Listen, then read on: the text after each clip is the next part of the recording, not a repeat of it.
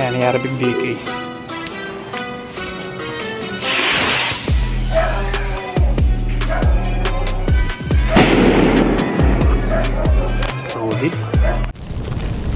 Thank you for watching.